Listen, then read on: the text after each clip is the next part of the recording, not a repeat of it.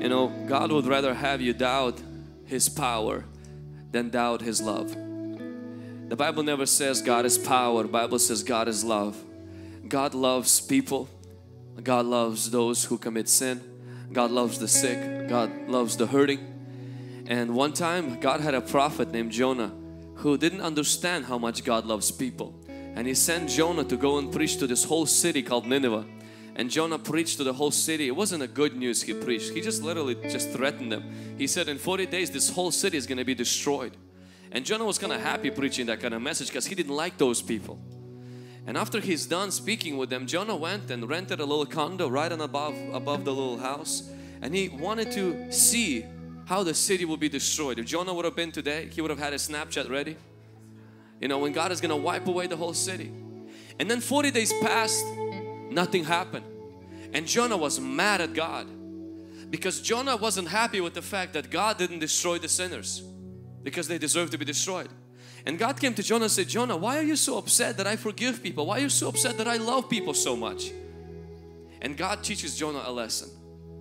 He lets a bush close to Jonah grow up really fast in one day and it provides shade and Jonah got so happy because the bush provided shade and the next day God used a worm to strike the bush at the root and the bush quickly dried up and Jonah developed a problem with his head because the sun was very hot and he developed a headache and Jonah was so mad that the bush died he was irritated the Bible says he was like obsessed angry mad and God came to him and says, Jonah, isn't that interesting?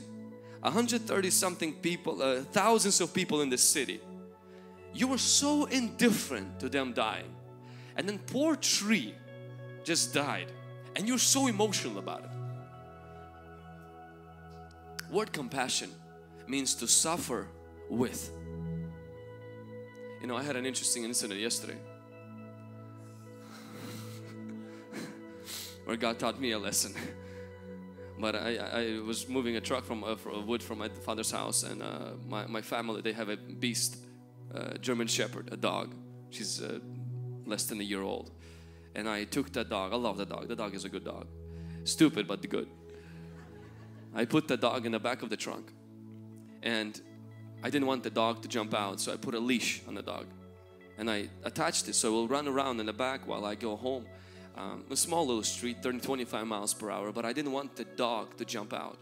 I was made everything possible so that the dog will stay there. It will be for the dog's best safety and future to stay within those places. And the dog had fun. It was raining and he was licking the rain and jumping around trying to get inside of the truck. And I was watching my I was watching her every single second until right by turning to the to the parents house the dogs uh, jump out while I'm driving 25 miles per hour. And there's a small leash.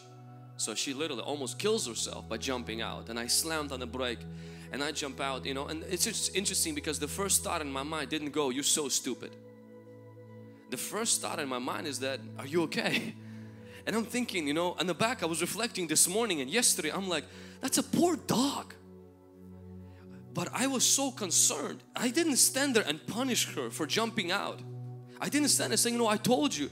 No, my heart was broken for a dog. And I put the dog back into the thing. We came there, you know, I was checking her if she's okay. Told mom, the whole family. We started this salvation operation. Everybody started bringing, you know, food and, and things. Right away, the rules, you know, don't let the dog inside of the house. Those rules went out the window. Let the dog inside of the house, you know. Everybody put the blanket, everybody crying, everybody talking to the dog, everybody's giving her attention. And I'm thinking in the back of my mind, you know, my brother Andre is mad. Everybody's upset, everybody's sad. And I'm thinking it's just the dog. Imagine that's how God feels about people.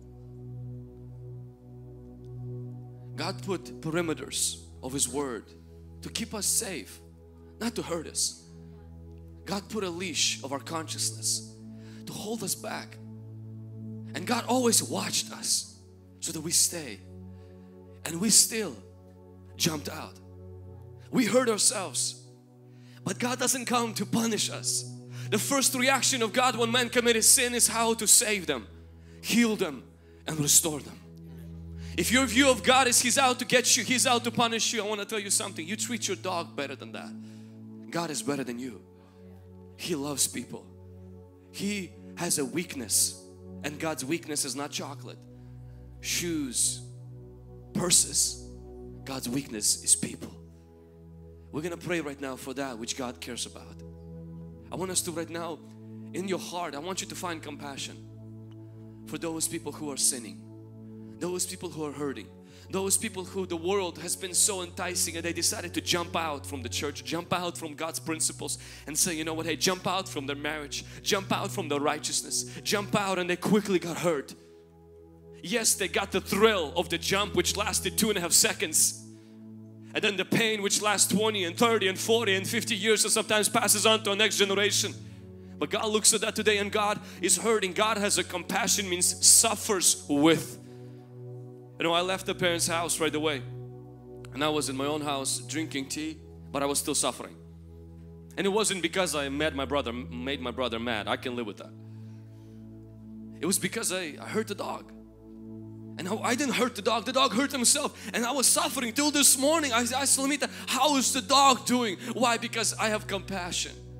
Now the bad part will be if I will have a compassion on the animal, but I don't have a compassion on a person that is made in the image and likeness of God.